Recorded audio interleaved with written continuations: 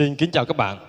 Hôm nay Tài sẽ tiếp tục chia sẻ các bạn các kiến thức âm nhạc cần thiết và bổ ích cho các bạn giúp các bạn có cái tài liệu nè, có cái nền tảng để mình à, tập luyện chơi đàn mỗi ngày tốt hơn các bạn ha. Thì à, như các bạn đã biết, ở tông thứ và tông trưởng đều có bảy cái tông cơ bản thường gặp mà chúng ta có nhiều một số bạn đi học đàn á thì à, đa số các bạn chỉ học được tông ví dụ như la thứ đô trưởng hoặc là rê thứ pha trưởng thôi còn các cái tông khác hầu hết các bạn à, đẹp organ ít cái sử dụng tới. À, thì hôm nay Tài xin chia sẻ các bạn các cái hợp âm có trong các cái tông đó giúp các bạn có được tài liệu mình tham khảo và mình tập luyện để nâng cao tay tay nghề của mình các bạn ha. Thì cái tài liệu này thực ra nó không chỉ là cái tài liệu căn bản hầu như ai đi học đàn cũng có thể biết được. Nhưng mà ở đây theo hệ thống lại để các bạn dễ học và dễ hình dung dễ tập luyện hơn. Chúng ta cùng à, bắt đầu các bạn nha. Các bạn quan sát. Um, dòng nhạc phía trên màn hình. Ở đây là tông la thứ. Ở đây các bạn à, chỉ cần học thuộc lòng thôi. Chúng ta thuộc lòng ở trong tông dù như tông trong tông la thứ này có những hợp âm gì âm gì? Chúng ta chỉ cần học thuộc lòng. Còn tại sao ở trong tông la thứ lại có những cái hợp âm này? Thì để uh, clip sau sau nữa đều sẽ chia sẻ các bạn cái các cái kiến thức uh, tại sao là như vậy. Có trong clip này các bạn chỉ cần học thuộc thôi. Học thuộc lòng luôn là tông la thứ làm có hợp âm này này này này nè đó là tông si thứ hợp âm này này này, này. chúng ta cần học thuộc lòng thôi bạn ha. Còn thắc mắc tại sao lại có những hợp đó trong cái tông đó thì để ở clip sau nữa tại sẽ chia sẻ. Còn những bạn nào muốn nhận được cái à, tài liệu file PDF của cái bản hợp âm trong cái clip này á các bạn cứ gửi về, gửi về địa chỉ mail của Tèo. Tèo sẽ gửi cái, cái bản file PDF qua cho các bạn in ra làm tài liệu các bạn ha. Rồi bây giờ mình cùng vào tông la thứ. Các bạn thuộc lòng luôn. Ví dụ trong trong trong tông la thứ hợp âm la thứ chắc chắn là âm chủ rồi. Bậc một rồi, tại vì la thứ mà. Rồi, trong cái tông la thứ chắc chắn sẽ có là la thứ nè. Rồi đến gì? Si dim. Rồi đến đô trưởng. Rồi đến rê thứ. Rồi đến mi bảy. Rồi đến pha trưởng. Rồi đến son trưởng. Là hết. Đó, các bạn học thuộc lòng luôn. Rồi bấm nhiều lần cho nó quen. Mà nhưng mà cái tông la thứ này đảm bảo hầu như hầu hết ai đi học đàn đều biết tông này các bạn đang nắm rõ luôn, nằm lòng trong bàn tay luôn các bạn đang nắm vô rõ ràng luôn. Rồi, đó là tông la thứ. Tông này quá dễ cho nên mình lướt qua luôn các bạn ha. Rồi, bây giờ đến tông si thứ. Các bạn học thuộc lòng luôn, đừng có quan tâm tại sao. Tại sao thì để clip sau, tại sẽ giải thích? Bây giờ mình học thuộc lòng trước đã. Bây giờ đến tông si thứ. Rồi, các bạn thấy cái dấu mà khoanh tròn, cái chỗ mà mấy cái dấu có hợp âm có dấu thăng không? Tức là những cái hợp âm mà có dấu thăng đó, nó cũng là cái dấu hóa của cái tông này luôn như vậy tông, trong tông si thứ này nó có hai dấu hóa. Đó là nốt nốt pha thăng và nốt đô thăng. Đó chúng ta vừa học thuộc đó, vừa học thuộc dấu hóa luôn. Rất đơn giản các bạn ha. Rồi, bây giờ mình trong tông si thứ, mình sẽ có hợp âm si thứ nè. Các bạn cũng cần phải bấm hợp âm nhiều lần cho nó quen các bạn nha. Rồi, si thứ nè. Rồi đến gì? Đô thăng đêm. Đô thăng đêm mình có như sau. Rồi, mình bấm nhiều lần cho nó quen và mình thuộc. Rồi đến rê trưởng thuộc lòng luôn các bạn ơi. Mi thứ. Rồi pha thăng bảy. Rồi đến son trưởng. Rồi đến la trưởng. Rồi về si thứ là hết. Đó là tông si thứ các bạn học thuộc lòng luôn. Rồi sau đó mình bấm nhiều lần cho mình quen. À, si nè đô thăng đêm nè rê nè mi nè pha thăng bảy nè son nè la nè. Đó ví dụ như vậy đó. Các bạn học thuộc xong bấm nhiều lần từ đó nó sẽ in vào não chúng ta luôn. Sau này cứ đưa ra à, tông si thứ đúng không? Ok đánh liền mình đã thuộc rồi các bạn. Đâu lo gì nữa. Đó là tông si thứ chúng ta thuộc thuộc lòng nha. Rồi qua tông đô thứ.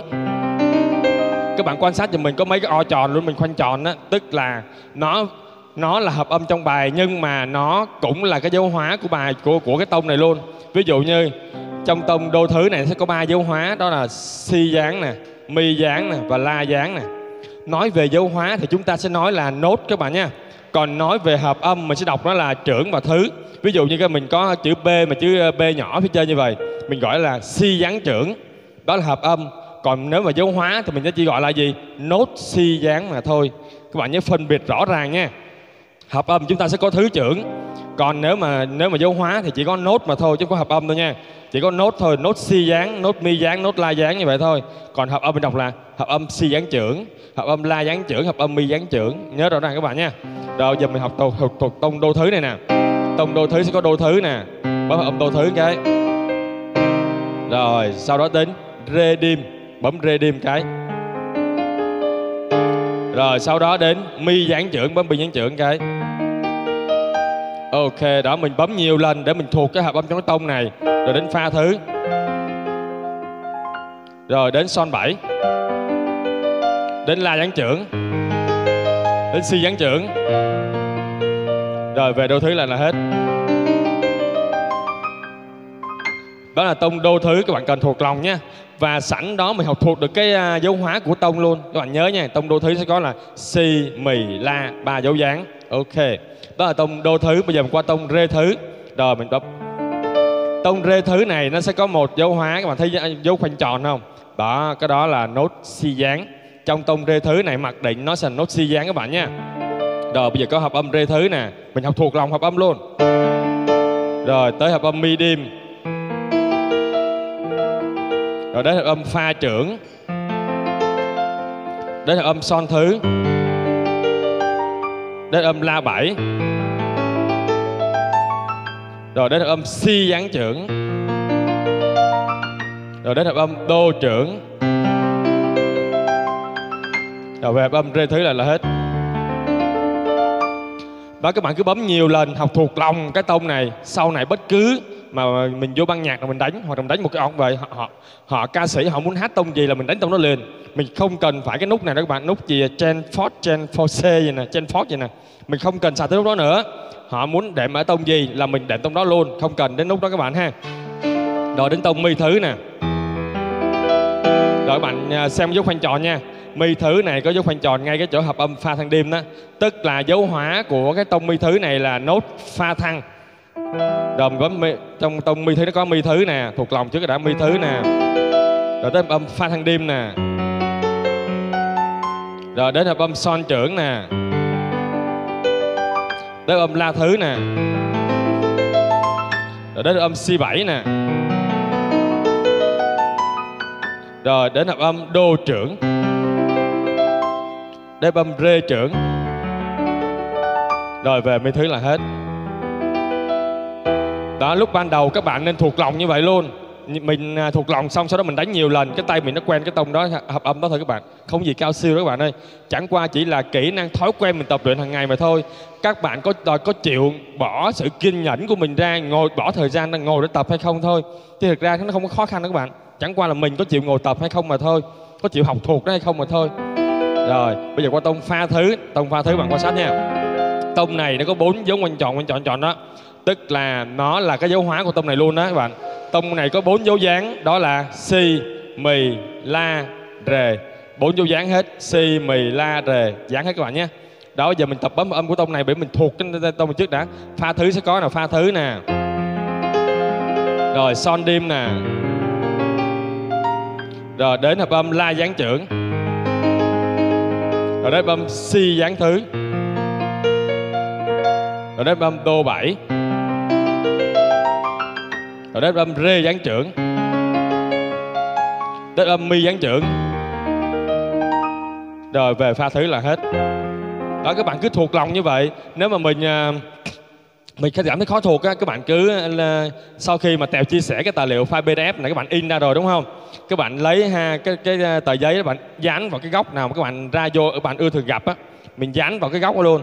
Tức là mình đi ra cái mình liếc cái, đi vô liếc cái, lâu ngày nó sẽ đọc vào não chúng ta chúng ta ghi nhớ nào không hay luôn các bạn ha. Đó là một cách học đó các bạn, cũng là một cách học đó. Rồi bây giờ mình đến tông son thứ. Tông son thứ này nó có dấu hai khoanh tròn, là hai cái dấu hóa của nó đó các bạn. Đó là si dáng và mi dáng. Dấu dáng các bạn ha, si dáng, mi dáng. Bây giờ mình tập mình tập cho thuộc trước. Tông son thứ, nó có son thứ nè. Rồi, la đêm nè.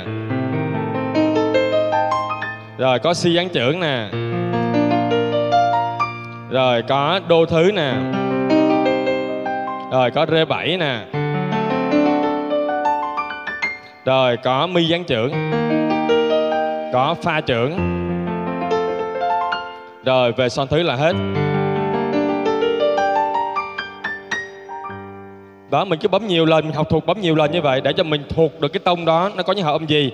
Tèo vừa chia sẻ các bạn các cái các bạn hợp âm ở bên tông à, thứ cái bên à, điều thức thứ các bạn ha.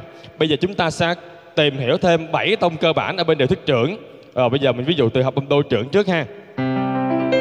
Bạn nào cần cái tài liệu à, của hai cái bản hợp âm thứ trưởng này các bạn cứ gửi địa chỉ gửi về mail của Tèo nha Tèo sẽ gửi cho các bạn cái cái ba cái file PDF các bạn chỉ việc in ra thôi rồi mình học mình làm tài liệu để mình à, tập luyện các bạn ha rồi đô trưởng nè, mình sẽ có đô trưởng nè.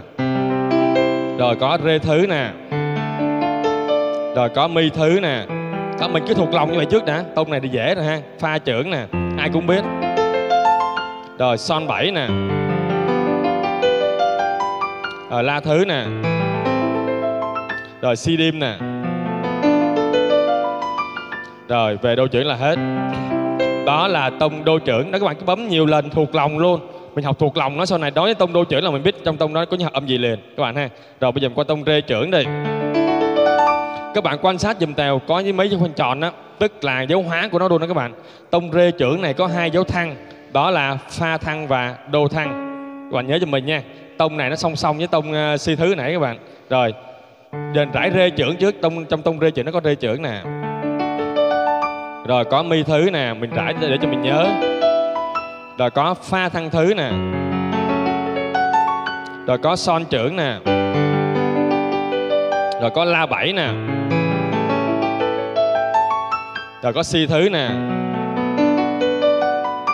Rồi có đô thăng đêm nè. Rồi về đây trưởng là hết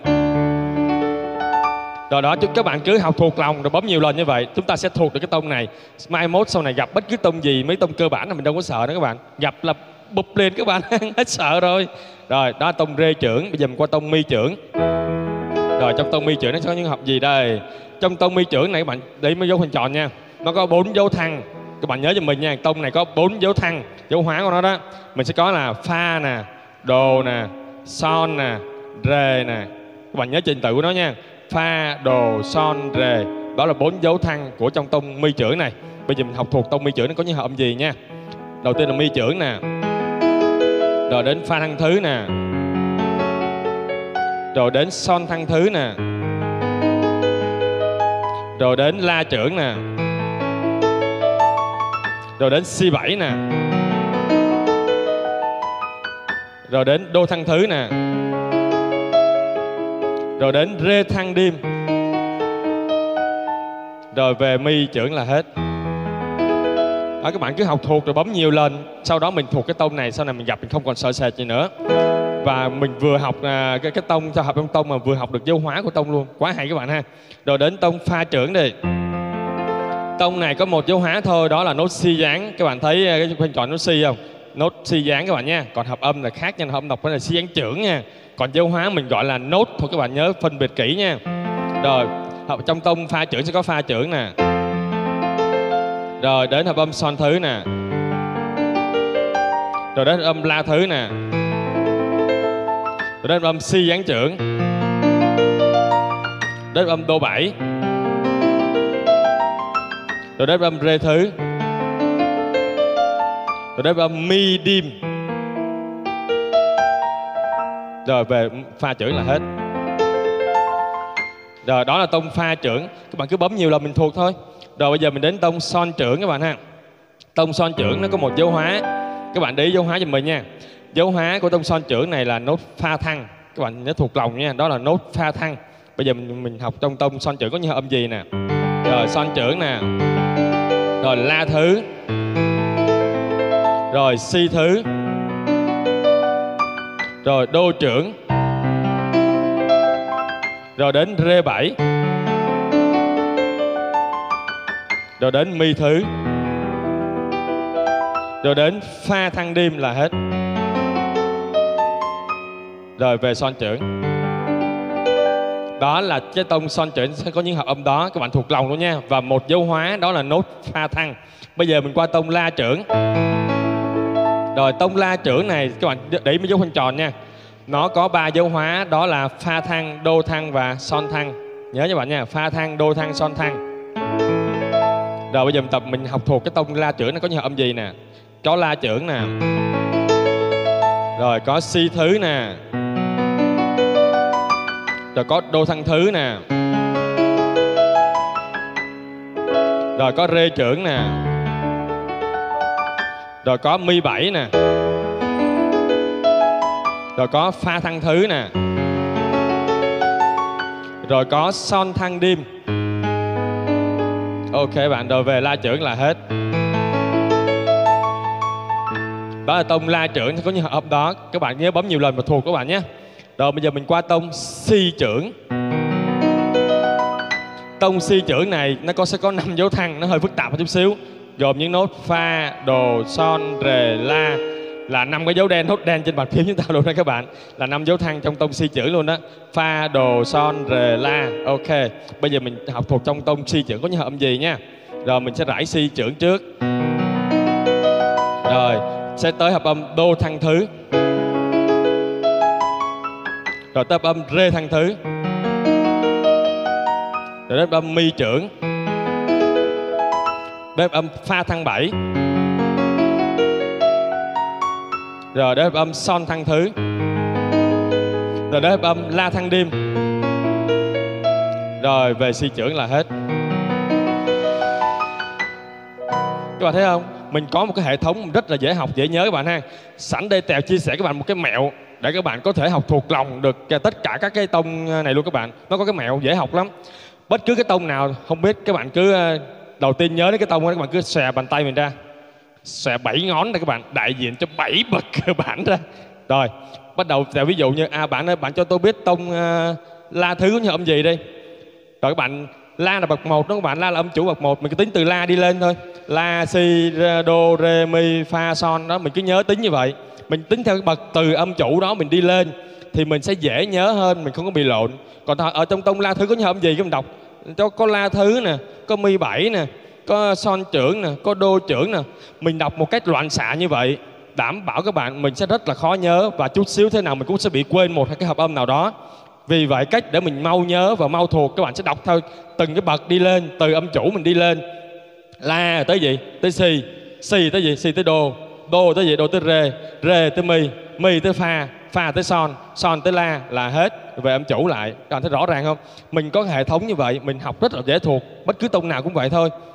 Ví dụ như mình ở à, bạn đã cho tôi biết tông uh, rê thứ đi. Xòe tay lên xòe tám ngón được hoặc bảy ngón cũng được tùy các bạn thôi. Rồi rê đúng không? Rê thứ rồi tới gì mi gì? Mi đêm mi xong tới gì? Tới pha. Mình nhớ là pha trưởng liền. Tại vì lúc đó mình đã bấm hàng ngày. Mình đã biết được trong cái tông này nó có những hợp âm gì rồi.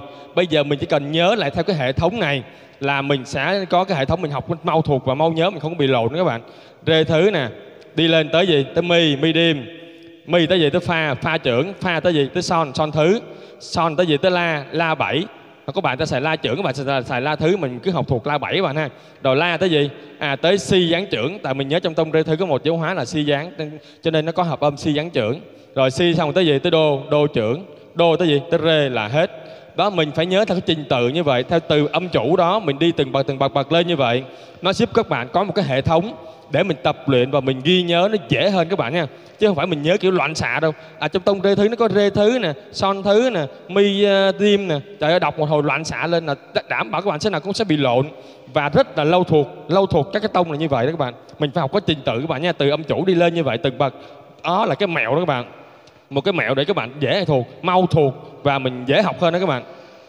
Tèo vừa chia sẻ các bạn các cái uh, hợp âm có trong bên điều thức thứ và bên điều thức trưởng của các tông bảy tông cơ bản thường gặp các bạn ha. À, mong rằng cái ta cái uh, clip mà Tèo chia sẻ hôm nay cái kiến thức này sẽ giúp ích cho các bạn rất nhiều trong cái việc mà các bạn chơi đàn và tập nhạc. Nếu như bạn nào cần cái file PDF của cái à, tài liệu à, sheet à, bên tông trưởng và tông thứ này các bạn cứ gửi về địa chỉ của mail tèo. Tèo sẽ gửi đến các bạn cái file bản pdf các bạn in ra và sau đó mình dán vào cái góc nào mà cái góc học đàn của mình cũng được. Đó mình dán đó. Mỗi ngày mình nhìn một tông một tông tông thôi đảm bảo các bạn sau này 14 cái tông cơ bản này không còn gì là khó khăn đối với các bạn nữa.